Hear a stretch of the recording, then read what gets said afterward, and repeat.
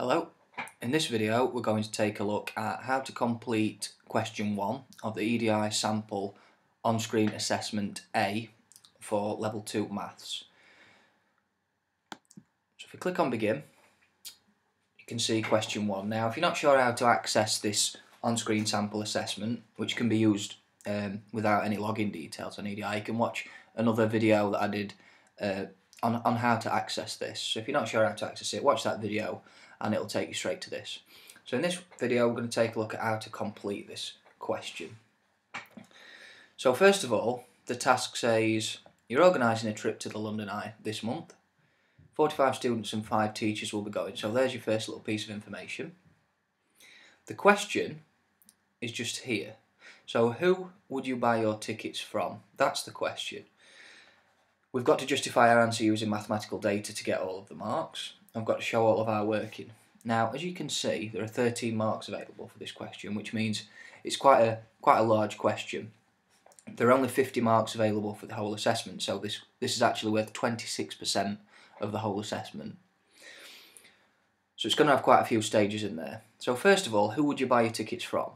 Now, who would you buy your tickets from is is a bit of an open question, but really what that means is in this case I'm going to say I'm going to buy the tickets from the cheapest uh, cheapest one. So mathematical data that I'm going to show there is, is I'm going to work out how much it's going to cost for each of these different companies. I'm going to label it up properly see who's the cheapest and then I'm going to decide after that. So if we get straight on with UK tours I'm going to consider first. So in my working out area I'm going to put in UK tours just making it clear that this, this is the calculation that I'm going to do first. So let's have a look how much this may cost.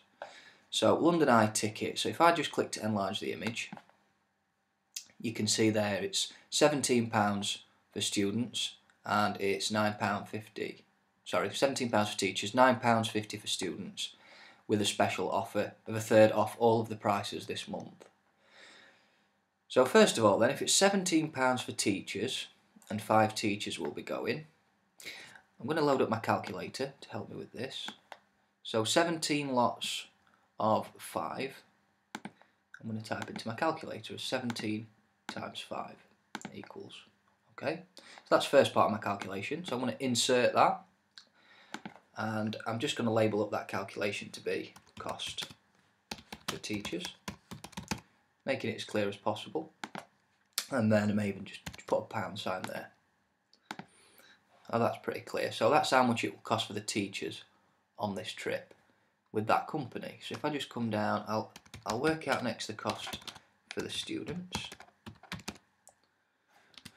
So we've got 45 students going at £9.50. So we're going to have 45 lots of £9.50. Which I'm going to type in my calculator like that. Press equals and that's going to return me £427.50. So clicking on insert at each stage and I'll just put pound sign in there. Put a zero on at the end as well just to make sure that looks a little bit more like currency, so the pence at the end. So that's the cost for teachers and students. So if I total that up before we actually work out what the special offer price is, we're going to do four, two, seven pounds fifty add 85 equals, and I'm going to insert that. So I'll put the cost for all attending. So that, that's clear. I'll put my pound sign in there. And we'll make sure that's got zero on as well, so it looks like currency. So that's the total. Now the special offer that we've not considered yet is that they're at a third off all prices this month.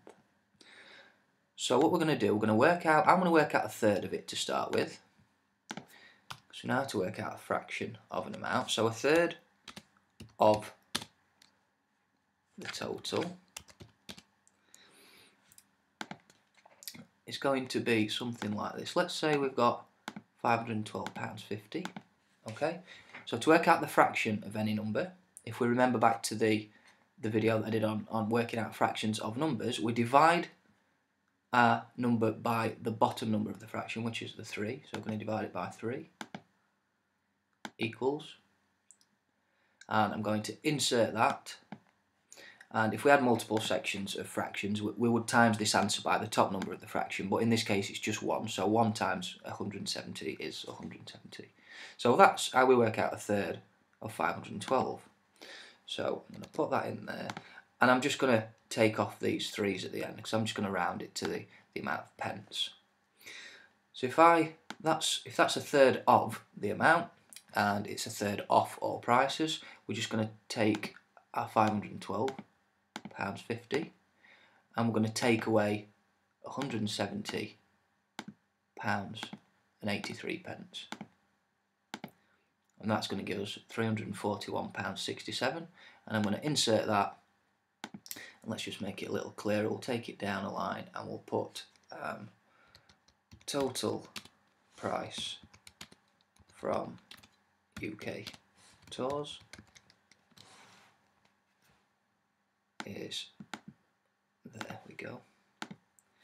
So there we go. So total price from UK tours is £341 and 67 I think that's pretty clear at each stage what, what we've done just there so if we come further down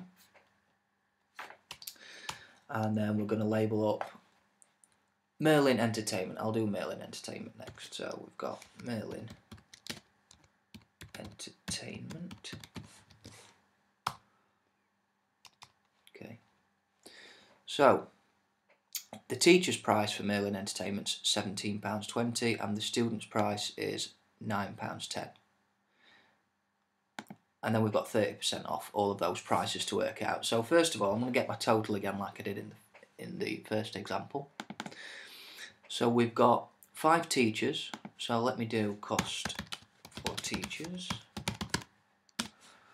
And it's £17.20, so 17.2 multiplied by 5 equals 86 and we'll insert that just there.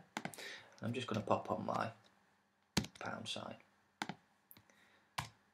Cost for students then.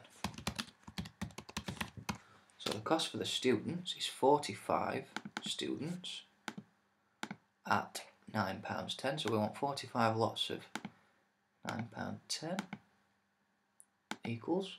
And we're going to insert that one as well. And just going to put my pound sign on and I'm going to stick a zero on there so we can see that that's currency.